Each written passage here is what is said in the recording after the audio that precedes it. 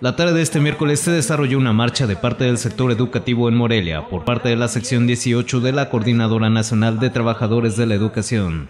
Se trata del autodenominado Grupo Poder de Base que en días pasados anunció esta movilización para demandar pagos de prestaciones que están pendientes desde al menos 2020.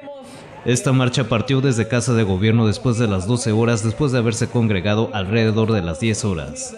El contingente llegó al centro histórico, donde encabezaron un mitin frente a Palacio de Gobierno para exigir cumplimiento a los pagos salariales.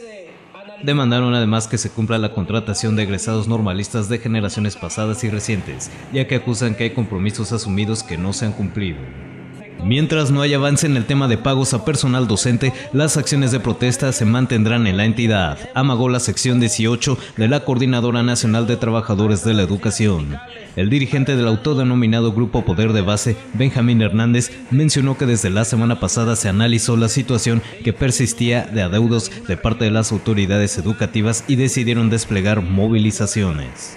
A partir de esta semana, iniciar nuevamente movilizaciones dado que observamos que por parte de los dos niveles de gobierno federal y estatal mm, ya se les estaba de alguna manera olvidando que, había una, que existe una problemática en Michoacán no resuelta.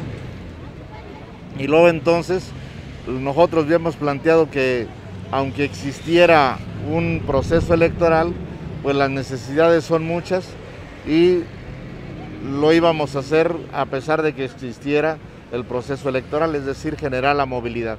Se acordó en el Pleno en esta semana una serie de actividades, dentro de ellas el día de, el día de ayer fue la toma de UCICAM de manera indefinida, el día de hoy sería la movilización de aquí hacia el centro y tener alrededor de la una, una y media una reunión con los dos niveles de gobierno, tanto federal como estatal.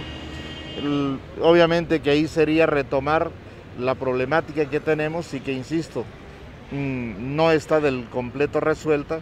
Entonces, ver hasta dónde está la intención de los dos niveles de gobierno de darle salida a los problemas. Entre las acciones de presión que ya consideran se encuentran el de la toma indefinida de las oficinas de pensiones civiles a partir del próximo lunes. Por todo ello, se definirá este viernes en su pleno. Con imágenes de Leopoldo Hernández e información de Uriel Morales, Agencia Cuadratín.